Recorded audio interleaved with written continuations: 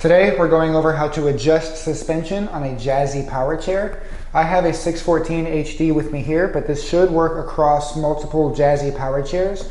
Uh, they're all adjusted the same way. This is your suspension, these yellow shocks. Now on some units like the 600 ES or the Evo series, you might have black shocks, but they're still adjusted the same way. And essentially all you're gonna do is this metal plate is what's holding the spring in, and you're just gonna either tighten that or loosen that. Uh, if you tighten it, your suspension will be tighter. If you loosen it going this way, your suspension will be looser. The only tools we will need is a pair of vice grips um, or a pair of channel locks if you have them.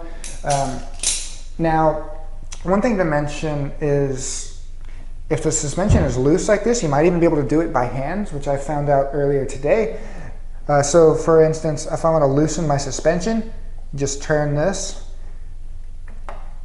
and you can see this nut is going higher, which is loosening the tension on this suspension. Now, if you want to tighten the suspension, you're going to go to the right. Now, as you go down, obviously you can only hand crank it so far because there's going to be more tension on the springs.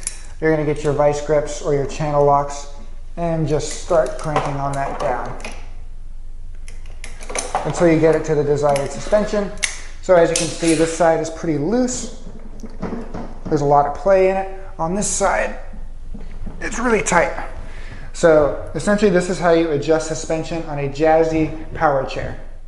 Hi, I'm Marc. And my name is Alex. We're co-owners of Marc's Mobility. I started this company in 1995. We sell many products, not just what you see in this video.